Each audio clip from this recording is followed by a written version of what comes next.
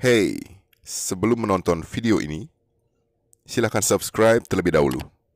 Karena subscribe itu gratis kawan. Sukses.